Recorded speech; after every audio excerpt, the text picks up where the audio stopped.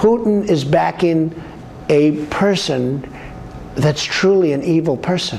And I think it's very bad for Russia. I think it's very bad for mankind. It's very bad for this world.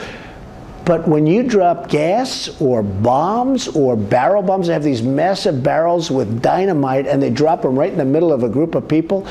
And in all fairness, you see the same kids, no arms, no legs, no face. This is an animal. I'm saving a tremendous amount, hundreds and hundreds of millions of dollars we're saving on health care.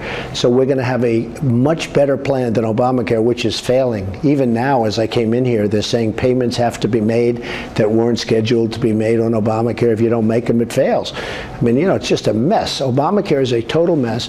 So we're saving tremendous amounts of money on health care when we get this done.